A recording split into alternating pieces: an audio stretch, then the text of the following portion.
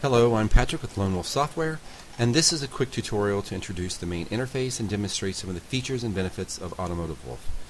Automotive Wolf is a powerful and flexible car care software product that will help you manage and stay up to date on all your car maintenance and help you to avoid costly repairs. Simply following its advice and service reminders will keep your car in top running condition. It uses a relational database engine that allows the database to grow as needed, so its capacity is virtually unlimited. You can create and track car maintenance on as many vehicles as you like. It's also network compatible, so you can share the database on a network. It's designed for the average family car owner or any car enthusiast. Now, what you see on your screen right now is the main interface of Automotive Wolf. And what we're going to do today is we're going to create a new vehicle in the database, and I'm going to show you how to configure some of the maintenance requirements. It's very easy to do and very very simple thing to do. So first thing we're going to do is create a new vehicle. We're going to do that by clicking on this button here in the top in the upper pane. And we see a vehicle information screen where we enter some information on the vehicle. Some items are required before we can create the vehicle. First thing we'll do is click on the Make button. Make will open up a drop-down menu, shows every make of car ever manufactured. We're going to create a Mustang GT Coupe today. So we'll scroll down and we'll find the Ford option. Select that. That will automatically load all the models that Ford has made since uh, 1940. So we're going to create that uh, Mustang GT Coupe. So we'll scroll down the items here and we'll find the GT Coupe. Select that. And this is going to be a 2009 model year, so we'll select 2009. Selected that. And next thing we have to do is we have to enter some distance estimates that Automotive Wolf needs to do some uh, calculations. So the first thing we have to enter is the current odometer. Now, any of these red labels that you see here on your screen, if you click on them, it'll open up a number pad. And the number pad makes it very easy to enter number values. So we'll click on the uh, red label. And this vehicle we're going to say has 10,000 miles on it. So we'll just click on 10,000. Click OK. See that's been entered here. Miles per year driven. We're going to say this vehicle is driven approximately 20,000 miles per year. And that's about average for most vehicles. Approximate miles per gallon we'll say this vehicle gets about 20 miles per gallon. Now again, all these all these values can be edited later, so we're just entering some quick estimates for this vehicle. And the approximate fuel cost per gallon is approximately 265 in this area right now. Enter that. One other item is uh, required by Auto Automotive Wolf to create the vehicle, and that's the insurance information. Click on the insurance tab. We see the cost per year here in red. Click on that. We're going to say it's about $1,000 per year to insure this vehicle. If you pay monthly, quarterly, you can just multiply it out and enter it. That's entered. And uh, of course, you get a lot of other information here can be entered. If you click on the Purchase tab, you can enter the purchasing information for the car, the price, etc. And the Loan tab, of course, you can enter uh, any any information as far as the loan that you took out in the vehicle. And Automotive Wolf uses this information in a very detailed cost analysis. It's very informative. But in this case, we're going to keep it very simple and uh, quick, and we're just going to enter the basic information. So I think we have everything entered that we need to create the vehicle, so we'll go ahead and click on OK. And the next thing we're presented with here is a maintenance requirement screen for this 2009 Ford Mustang GT Coupe that we just created. And you can select from four different maintenance schedules for this vehicle, basic, low maintenance setting, medium, typical maintenance setting. You see when I click them, more items are enabled here.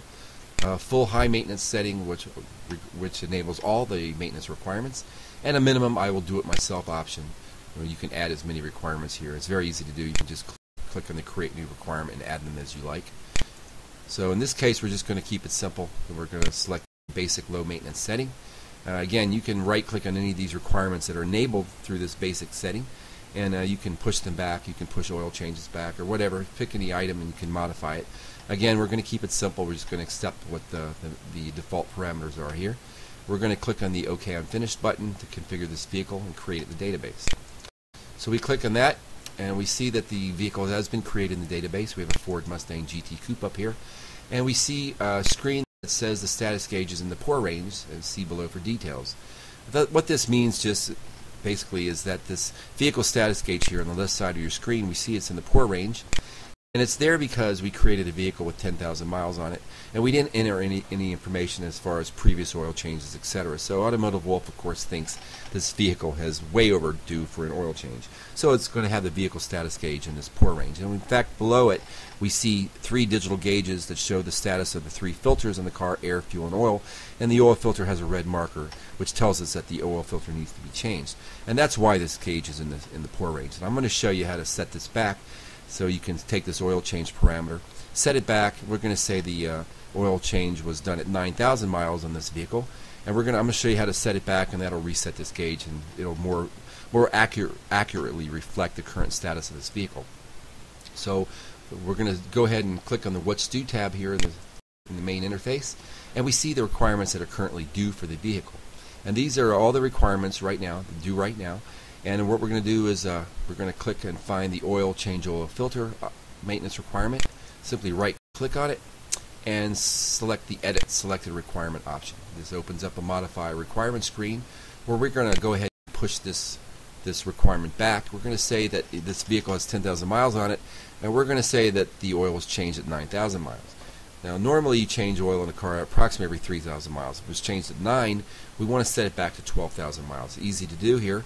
We This per, particular uh, requirement uh, you can have it due by uh, the odometer or also due by uh, a date. Some some uh, manufacturers want you to change your oil, for instance, every three months. In this case, we're going to just have it use the distance parameter. So we'll just click on distance. We see the date options have disappeared.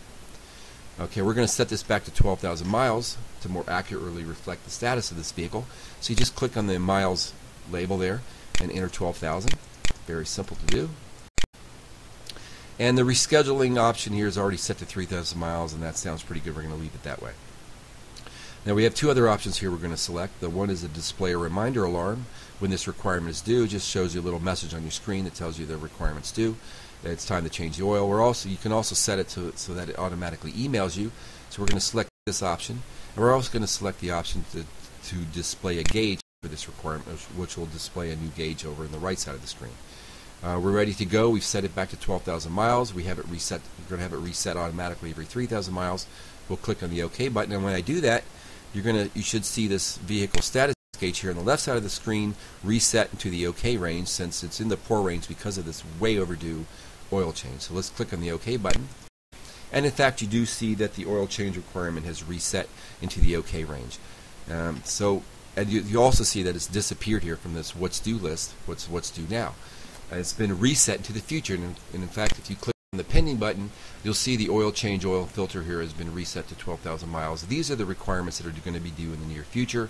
If you click on the show all button, all the requirements currently enabled for the vehicle are displayed. Let's click back on the do now button and uh, we see what's what's currently due now. Now you can easily modify these requirements. Automotive Wolf makes it very easy to modify and and configure the vehicle according to your manufacturer's recommended schedule. And we recommend that you do go through your manual and just add a few things here and modify a few things so that it so that it's a, it's configured exactly as your manufacturer requires as far as the maintenance items. Very easy to do and it usually just takes a few minutes. You can just right click on of these requirements and edit them or you can create a new requirement. I'm going to show you how to do that now. If you just simply create the click on the create new requirement button, let's create a timing belt change uh, requirement for this Mustang. So we're going to make it just distance a, a parameter required and we'll enter the uh, description timing belt change and we're going to say that this timing belt according to the manufacturer needs to be changed every 50,000 miles so we'll just go ahead and enter 50,000 now this will set this requirement to be due at 50,000 miles and the rescheduling option we're going to also set to 50,000 miles just means that when this requirement is satisfied and you do change the timing belt, it'll automatically be rescheduled 50,000 miles into the future. We're also going to display a reminder and we're going to display a gauge. We'll go ahead and click OK. We see new gauge has been uh, created on the right side of the screen here, a timing belt change. It's in the green because this timing belt change is due at 50,000 miles and of course we're currently at 10,000 miles. So that's we're set on that and we see that this belt, this timing belt change doesn't show up in the what's due list because it's not due now. If you want to see it, just click on the pending list, and you'll see it displayed in blue as all user-defined requirements are displayed. Let's click back on the Do Now button, and basically you've now configured this vehicle and it's ready to go. Uh, if you want to satisfy a requirement, you simply double-click on it, enter some information about the requirement you're satisfying. If you take it to the shop, click OK, and you'll see it disappears. If you go to the Maintenance tab, you'll see that it was automatically added for you. And again, you can edit any of these things. This is a be a very detailed maintenance list, and uh, it'll it'll save every single every single piece of maintenance requirement that you've ever added. And also, you have a repair. You have a lot of other options here. We'll go through in other tutorials. Let's click back on the what's to do list, and we see the other items here. You can also modify them as as desired. Uh, that's pretty much you're ready to go at this point. Your new vehicle's created. You see, it only takes a few minutes, and uh, Automotive Wolf's ready to track your vehicle for you. Uh, that ends this tutorial. I thank you for watching. Look for other tutorials in the near future on other aspects of this very, very powerful software. Thank you for listening.